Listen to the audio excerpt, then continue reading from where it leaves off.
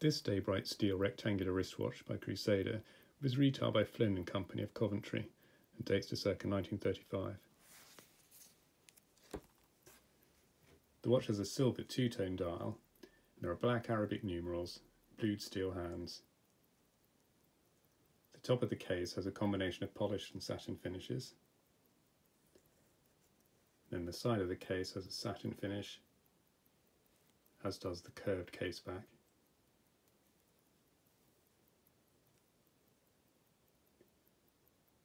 This is a manually wound model, so it requires winding when being used.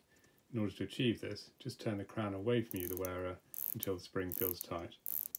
The hand setting is adjusted in normal manner. Just pull the crown out and you can turn the hands to the desired time.